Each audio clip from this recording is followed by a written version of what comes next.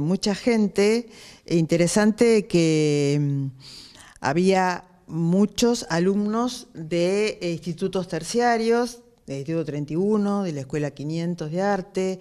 Eh, yo soy profesora del Instituto 31 y muy contenta de haber caras conocidas de alumnos que estaban este, conscientes de que no es un problema, evidentemente, bueno, sí, es un problema de la universidad pública, de la Universidad Nacional, pero también es un problema de la provincia, la cuestión de la, del docente, el, problema eh, em, con la educación pública, como recién planteaba Ricardo, es grave.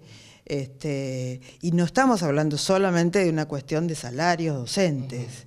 Eh, bueno, todos saben, en la provincia estamos este, complicados con una cosa básica que es mantener los edificios, que no vuelen las escuelas por un problema de gas.